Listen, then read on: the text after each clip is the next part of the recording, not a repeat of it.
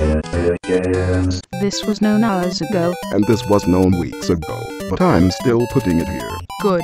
Good. I don't give a fuck. Because I don't go to cons and I hate most people who do. So it's win slash win slash win here. Oh well. I want to buttfuck Cadence. She's not even on my top 20 list of best pony.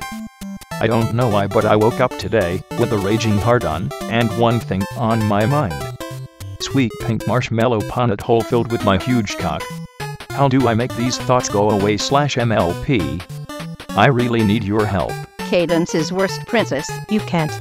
Whack it to cadence.swf and enjoy every second of it. I know, but I still want her. That's what's bothering me. I have lusted after others in the show, but they were at least good tier. Now I'm waking up lusting after shit tier. What the fuck? Help, wanting this to go away. The devil be gone from you. I already fapped to her first thing when I woke up. It was fucking great. The feeling is still there and I'm a fucking mess at work on my lunch break thinking about fapping again just to make it stop. You could try fapping to healthier things, Opie. Like real women who aren't cartoon horses. Ponato. Holy shit, fucking lost it now. Seriously, though, Opie, just look at whatever porn you like and jerk it till your dick bleeds. What's the issue? Not a big fan of Cadence, either, but I guess she wouldn't be that bad, you know, if all these fictional cartoon characters were actually real. No one likes cadence in the show.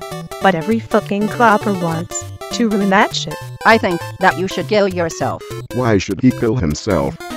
He's having normal sexual urges and reached out to the board to ask for help. Ponut hole. Is this a thing? This should be a thing. Why haven't you moved to Pony Chan?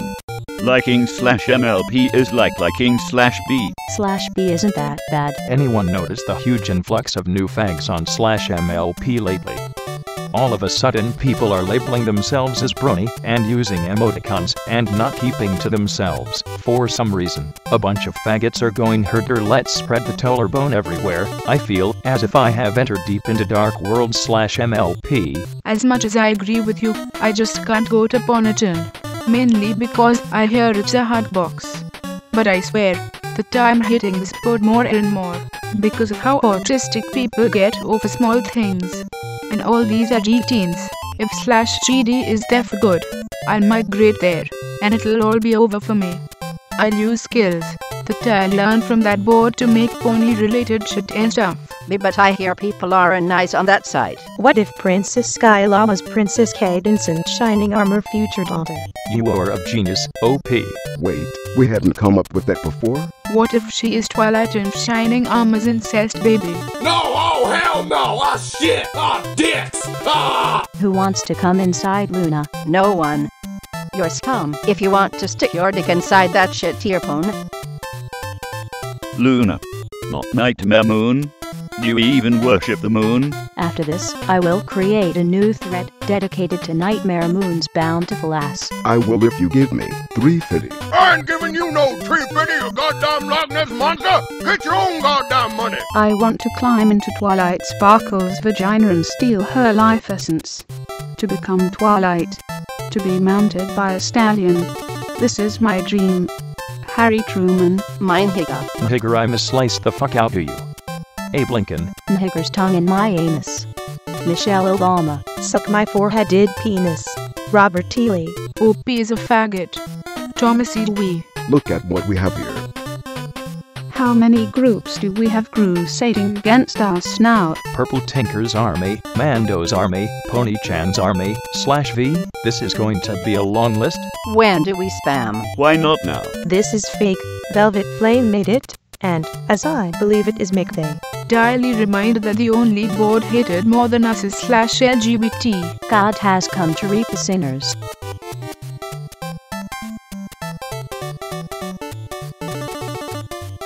Former student. Did she get sent back to magic kindergarten or something? No, you dumb fuck, she graduated. I hope she's a villain. The show could really use some more moral ambiguity.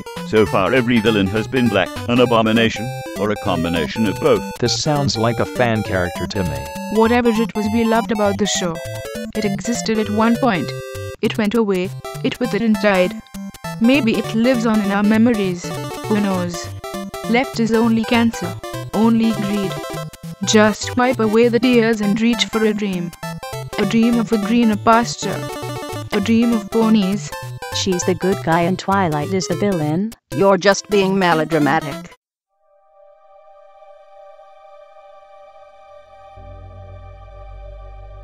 Anon.